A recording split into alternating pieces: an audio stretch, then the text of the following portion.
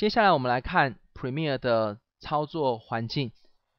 刚才我们介绍过 Premiere 它的操作界面是由很多不同的工具面板所组成。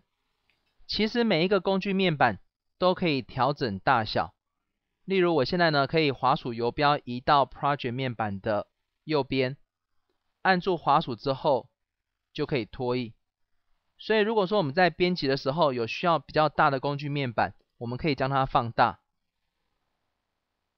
缩小，好，那么用不到的工具面板呢，其实也可以把它关闭。例如 Info 面板，这是资讯工具面板，如果暂时用不到的话，把它关闭也没关系。你可以发现，在某些工具面板的右上角呢，会有一个三角箭头，点选之后就可以设定相关的选项。每一个工具面板的选项。有些是不一样的。好，但是如果说我这边呢，可能把一些重要的工具面板关闭以后，该怎么办呢？像我刚才如果把 Project 面板关闭的话，我就没有办法看到汇入的档案，没有办法进行管理了。那么你可以点选 Window 工具面板，然后找到你要显示的项目。例如刚才我关闭的是 Project。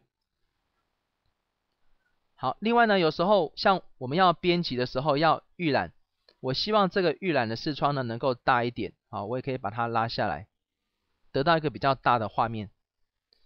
但是如果说我现在把画面整个弄乱了，我们有有没有办法回到最初始的状态呢？可以的，你可以在功能表的 Window 选择 Workspace 工作空间，然后再选择 Editing。你可以看到，在这个地方呢，有一些不同的项目。如果你是使用 Premiere Pro 1.5、2.0或是 CS3 呢，它的排列会有点不太一样。可是项目的内容是一样的。例如我们一般编辑的话呢，就是选择编辑模式。